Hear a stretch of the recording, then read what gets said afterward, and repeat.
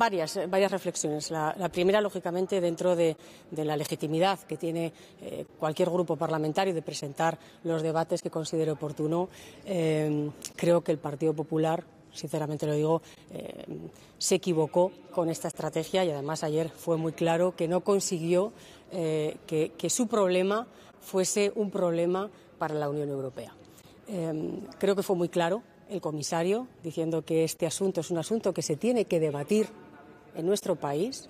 Además, saben perfectamente que la proposición de ley que el Partido Socialista presentó con respecto a la ley de amnistía ayer eh, antes de ayer, perdón, pasó el primer trámite en el Congreso de los Diputados con la validez eh, que se requiere por parte de los letrados del Congreso, del Congreso y a partir de ahí se abre un debate.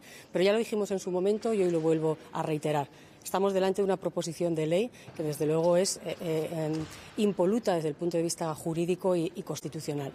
Y yo también les diría una segunda reflexión al Partido Popular. Acabamos de iniciar una legislatura y, desde luego, como país tenemos muchos retos que afrontar en materia de vivienda, en materia de consolidar derechos eh, sociales, en materia eh, de seguir eh, ampliando y mejorando todos aquellos derechos que hemos puesto en marcha también en estos últimos años. Y yo creo que le pediría al, Partido, y lo que le pediría al Partido Popular también en su papel de oposición, que abandone ya esa posición de pataleo constante.